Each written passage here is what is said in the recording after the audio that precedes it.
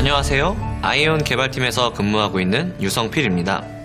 오늘 많은 분들께서 기다려주셨던 바로 그 소식, 아이온 클래식에 대해서 말씀드리려고 합니다. 여러분의 추억 속의 아이온을 현실로 만들어 다시 한번 경험해 보실 수 있도록 아이온 클래식을 준비하게 되었습니다. 저희가 이번에 아이온 클래식을 준비하면서 가장 중요하게 생각했던 포인트는 최대한 그때 그 시절의 아이온의 모습과 가장 가까운 환경을 제공드리는 것이었습니다.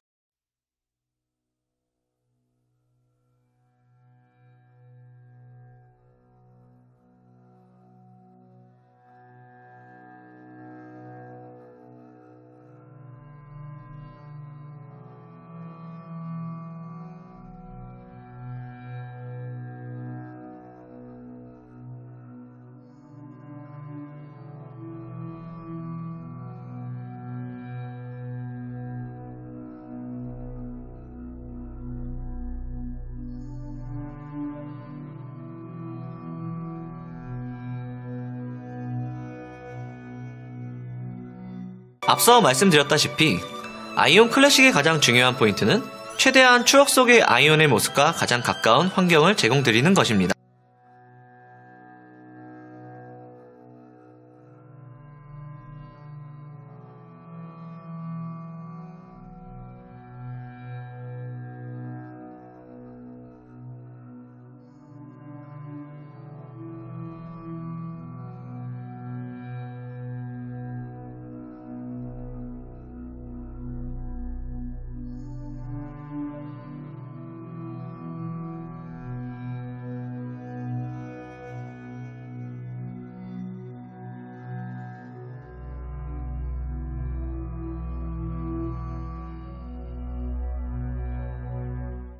이전 아이온에 대한 기억과 노하우를 잊지 않고 계신다면 아이온 클래식 서버에서도 그때 그 시절 그대로 대바드 중에서도 영웅이 되실 수 있을 겁니다.